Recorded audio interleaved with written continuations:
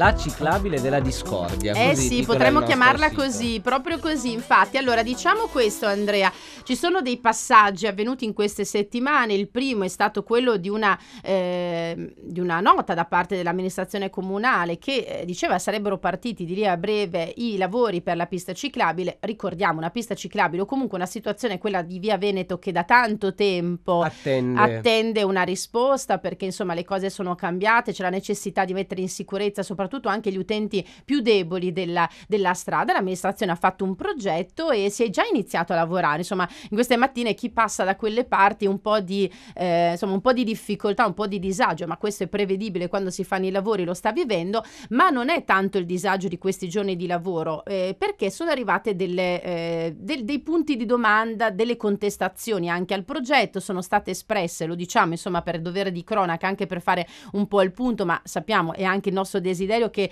eh, il nostro ospite, che è il sindaco di Riccione, possa rispondere, contestazioni che sono state portate anche in un'assemblea organizzata dal Partito Democratico e leggo sui giornali che una delegazione di San Lorenzo, di cittadini di San Lorenzo, probabilmente nei prossimi giorni incontrerà il sindaco. Noi ce l'abbiamo al telefono il sindaco, per cui chiediamo a lei un po' la, eh, la genesi di questo progetto e se anche ascoltando un po' qua e là qualche malumore si è fatto un'idea di quello che sta accadendo. Buongiorno sindaco.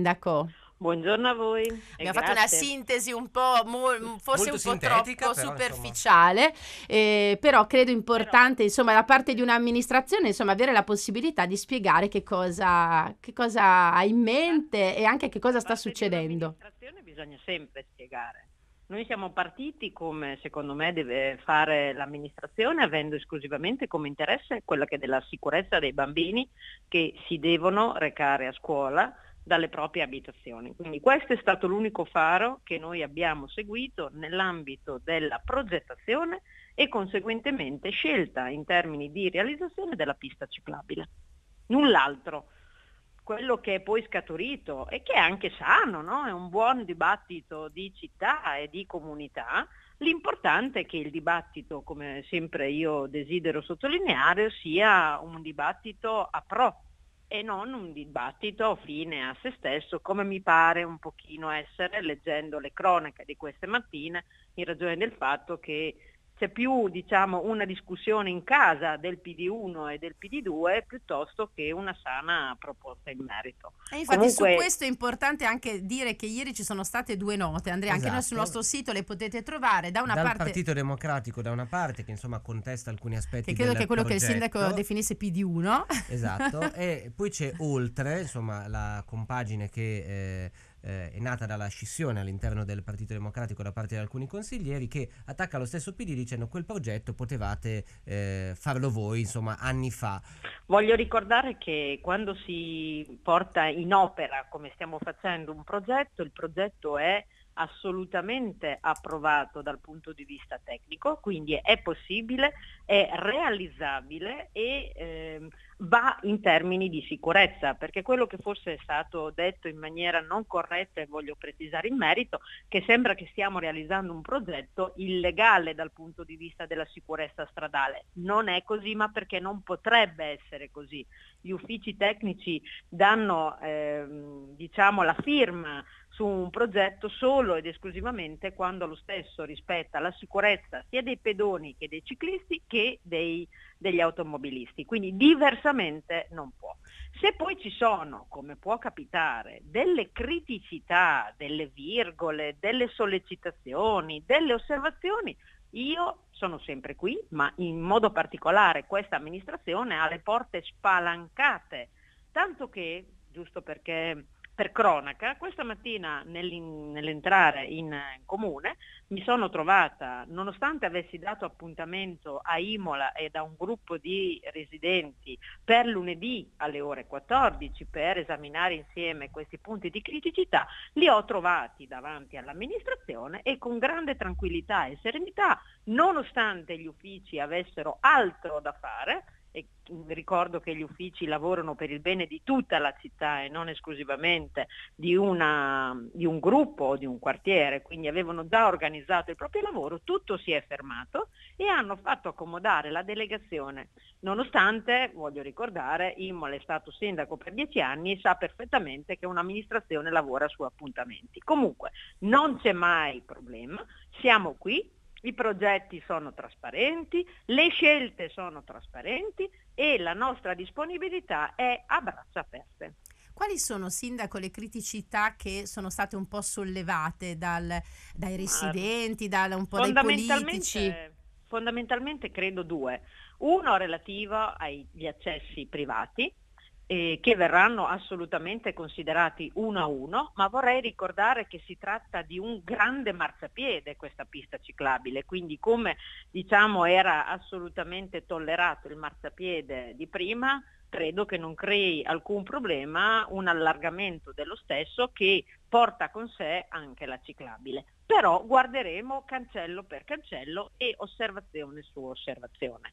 Dall'altro credo che sia invece una svista perché mh, sottolineano il fatto che la carreggiata sarà ristretta al punto tale da non essere eh, diciamo a norma. Non è possibile nel senso che non possiamo per legge non rispettare il codice della strada e voglio ricordare, come capita in tutti i casi, che oggi l'area di cantiere che determina la, stretta, la strettoia è più ampia rispetto a quello che sarà il cantiere vero e proprio, così come è in tutti i casi. Cioè quando si lavora ad un cantiere la ditta chiede più spazio, rispetto a quella che sarà invece l'area di cantiere vera e propria per comodità e per sicurezza. Quindi verrà logicamente una carreggiata a norma, verrà una pista ciclabile a norma, verrà un marciapiede a norma perché diversamente non può essere.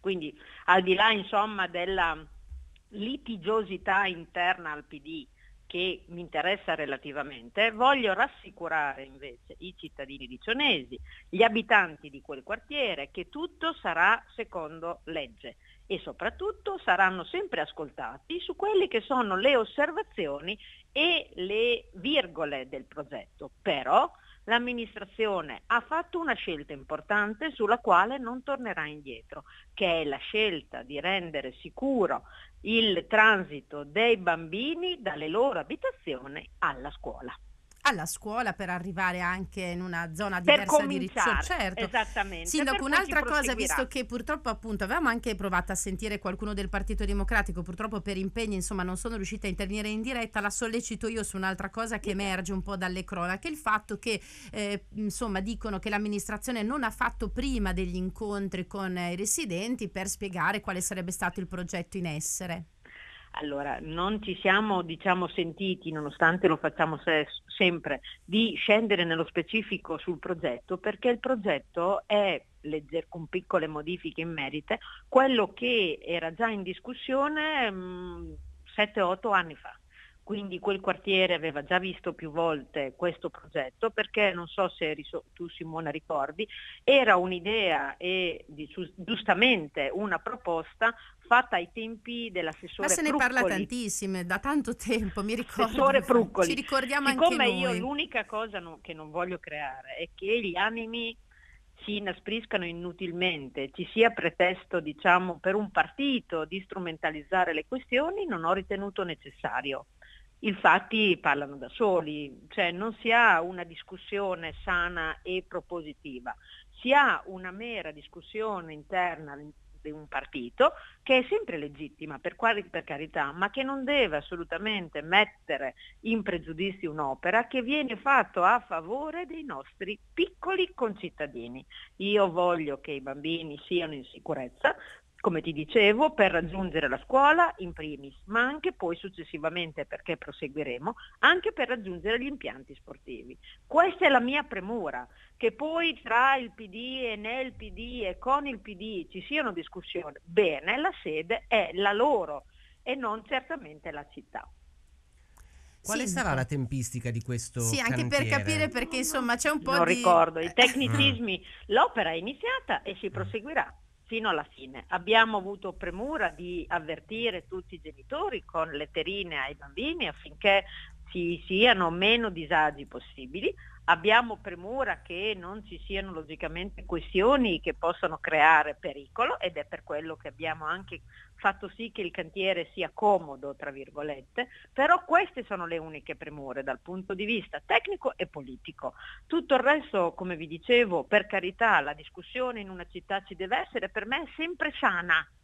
L'importante è che sia una discussione che vada a favore di una città con osservazioni propositive.